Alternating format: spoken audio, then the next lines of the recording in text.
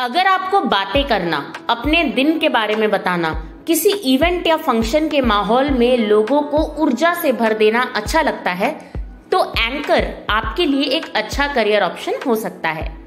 तो चलते हैं अलोह मोरा की करियर शाला में। एंकर के करियर के बारे में बताने के लिए आज हमारे साथ हैं मिस सुमति आनंद, जो एक प्रोफेशनल एंकर हैं और बहुत सारे अलग अलग तरह के इवेंट्स में एंकरिंग कर चुकी हैं। मैं एक एंकर हूँ और मोस्टली अगर मैं किसी को बोलती हूँ कि अरे आई एम एन एंकर तो पहला सा सवाल ये आता है कि अरे, कौन से चैनल पे आप एंकरिंग करती तो आज बात करने वाले हैं एंकरिंग के करियर के बारे में। एंड मैं एक लाइव एंकर हूँ, एक टीवी शो होस्ट हूँ एक आरजे रह रही हूँ। जब मैं बात करती हूँ एंकरिंग की एंड एक लाइव होस्ट की दैट बिग वर्ड जिसको हम एमसी बोलते हैं that's called master of ceremony Hindi में हम उसे सूत्रधार बोलते हैं। एक ऐसा शो जहाँ पे ऑडियंस आपके सामने है, एक लाइव शो हो रहा है, और आप वहाँ लोग आपके सामने हैं, आप लोगों से इंटरेक्ट कर रहे हो, उस शो को होस्ट कर रहे हो। समथिंग आई डू तो इस, मैं वो एंकर हूँ जहाँ हम लाइव ऑडियंस के साथ इंटरेक्ट करते हैं। उसके अलावा मैं टीवी शोज़ होस्ट करती हूँ। डिफरेंट रेडियो चैनल्स के साथ काम कर चुकी हूँ कॉपरेट इवेंट्स सोशल इवेंट्स अलग अलग तरह के इवेंट्स होते हैं। अब जब कोई मूवी होती है तो सेलेब इवेंट्स हम लोग होस्ट करते हैं, कोई प्रेस कॉन्फ्रेंसेस होती है। मैं एंकरिंग की बात करूँ तो मैं इवेंट्स के थ्रू आई एंकरिंग में। ज़्यादा मैं जब कॉलेज में थी, आजकल हर बच्चे में ये वो बहुत जज्बा होता है कि नहीं, हमसे नहीं मांगना है कुछ यू नो हम फाइनेंशियली इंडिपेंडेंट होना चाहते हैं, हमें खुद कमाना है। तो uh, मैं जब कॉलेज में थी तो मैंने उस समय आई थॉट कि नहीं यार अभी बहुत uh, माँ बाप पेरेंट्स ने कर दिया है। तो अभी थोड़ा खुद अपने फाइनेंशियली इंडिपेंडेंट होते हैं। तो एज अ होस्ट मैं उन इवेंट्स में काम करने लगी। होस्ट अगर की बात करें तो यू नो आपको ऐसे फॉर्म्स भरने होते थे और लोगों से नंबर्स लेने होते थे। वहाँ से मैंने अपने इवेंट जर्नी की शुरुआत करी। या अगर स्टार्टिंग मुझे याद है, मैं अपने पहले इवेंट पे गई थी आई थिंक जो भी इस बात को सुन रहा होगा, वो ये ज़रूर समझ जाएगा कि देखो, अगर फेलियर मिल रहा है तो छोड़ना मत। बस मुझे याद है, मैं जब अपने पहले इवेंट पे गई थी, मुझे एक घंटे बाद वहाँ से लिटरली घर भेज दिया गया था। लाइक आप प्लीज़ लीजिए और जाइए, नहीं हो पाएगा। और उन्होंने लिटरली मुझे घर भेज दिया था। आई थिंक वो दिन है और आज का दिन है। आई जस्ट अंडरस्टूड यार प्रैक्टिस चाहिए, मेहनत चाहिए, अगर आप कुछ करना है तो।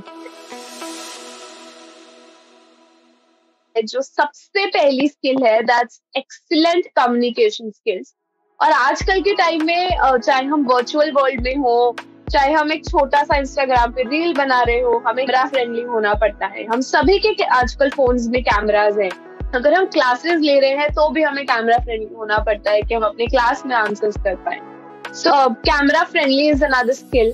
Communication skills लोगों से बातचीत करना चाहे आप टीवी uh, करियर में एंकरिंग करें चाहे आप लाइव करियर में एंकरिंग करें कहीं भी आपकी कम्युनिकेशन स्किल्स बहुत अच्छी होनी चाहिए। पर मैंने एक चीज़ समझी है कि आपकी आवाज़ में इमोशन होना चाहिए और आपकी आवाज़ से पता लगना चाहिए कि आप जो बोल रहे हैं आप उस चीज़ को एक्सप्रेस कर रहे हैं। ये आपकी फ़िज़िकल फिटनेस और मेंटल uh, फिटनेस भी एक स्किल है।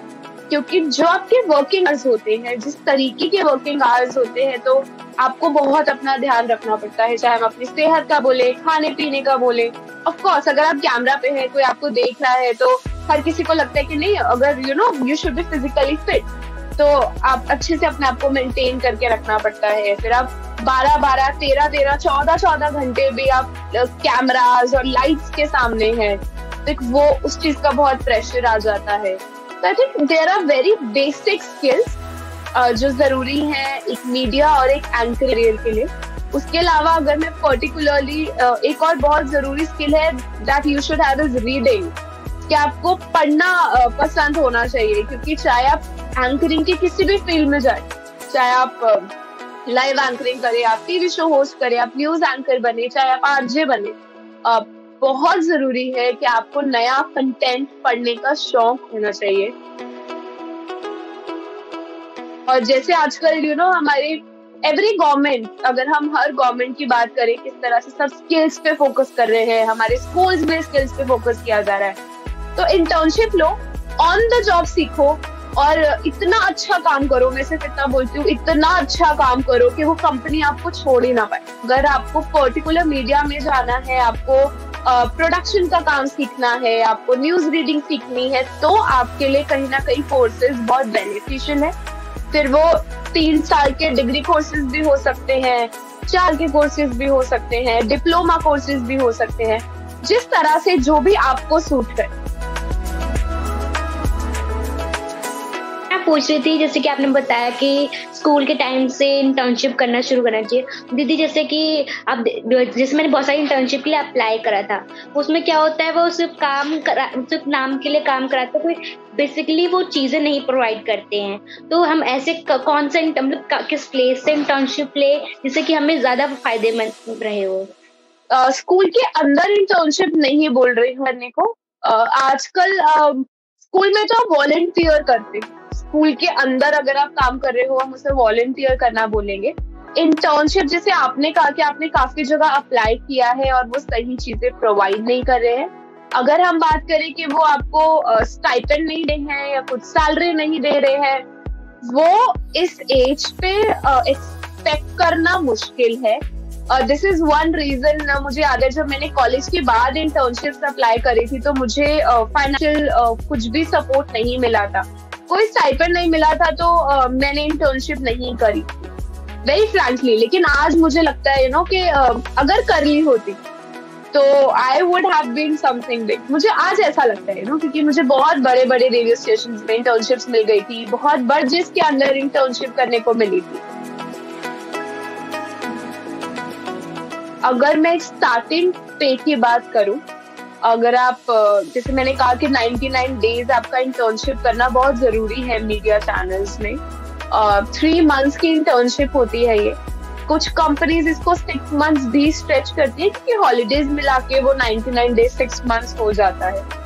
उसके बाद companies that start paying is somewhere around eight to ten thousand अगर आप एक मीडिया चैनल के साथ काम कर रहे हैं और अगर आपका काम बहुत अच्छा है तो आप बीस पच्चीस हज़ार भी यू कैन हैव उसके बाद तो देर नो बात अगर आपका काम अच्छा है, आप एक और बहुत अच्छी चीज़ है कि अगर आपको एक कम पे ग्रोथ नहीं मिल रहा है, चाहे वो पर्सनल ग्रोथ है करियर ग्रोथ है आपको लग रहा है कि मैं नई चीज़ें सीख नहीं रहा हूँ और मेरी सैलरी भी नहीं बढ़ रही है, जब तक आप सीख रहे हो, तब तक आप उस कंपनी में रहिए। अगर आपको लगता है कि हम सीख लिया ये नहीं बोल रहे ओवर कॉन्फिडेंट हो जाओ कि अरे मुझे तो बहुत आता है।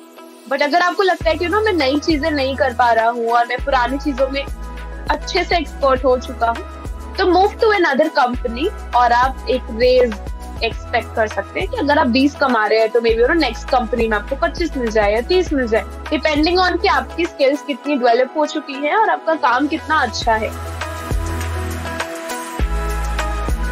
पढ़ाई मत छोड़ना। अगर हम इंटर्नशिप भी करते हैं, अगर हम एक्सपीरियंस भी ले रहे हैं, पढ़ना मत छोड़ना, नई चीज़ें सीखना मत छोड़ना दैट समथिंग मोर